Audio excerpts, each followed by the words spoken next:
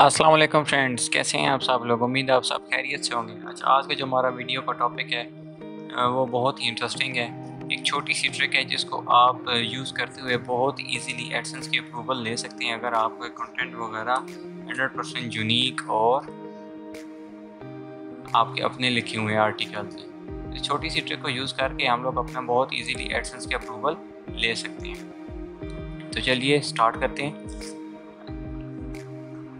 अच्छा ये इस तरह आपके पास जब आप अपनी वेबसाइट को क्या नाम है, गूगल की इंडेक्स पे इंडेक्सिंग कराते हैं और इंडेक्सिंग कराने के बाद जब आप अपने व्यू को लाइव टेस्ट पे क्लिक करेंगे तो उस पर क्लिक करने के बाद it take sometimes five ten second fifteen second ये देगा।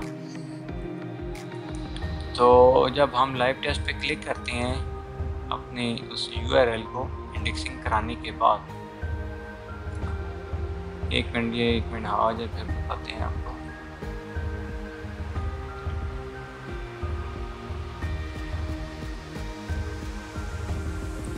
हाँ ये चीज़।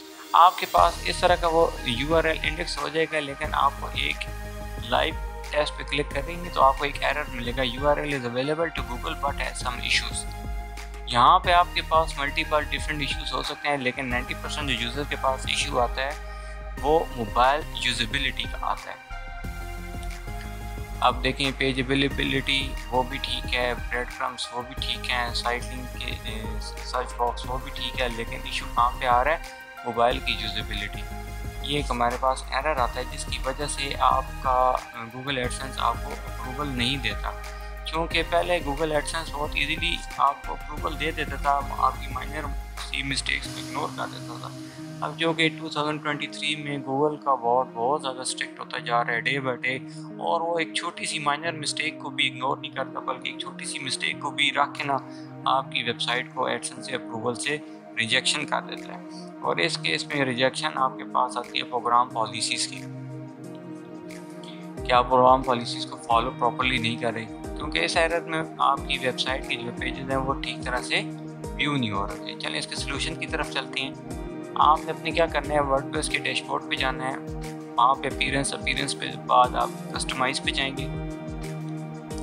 कस्टमाइजेशन पे आने के बाद आपने क्या करना है कि यहाँ पे एक टैब होता है एडिशनल सी एस एस का। आपने क्या करना है? उस एडिशनल सी एस एस के टैब के अंदर जाएँगे। वन लाइन का एक कोड है।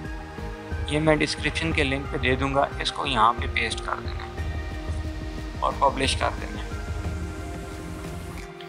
और दोबारा फिर आपने सर्च कंसोल पे चले जाना है।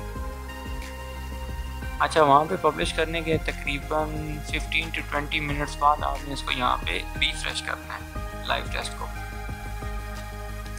उसी वक्त फ़ौरन नहीं होगा, आपने तकरीबन 15 से 20 मिनट बाद करना है तो आपका वो एरर रिजॉल्व हो जाएगा।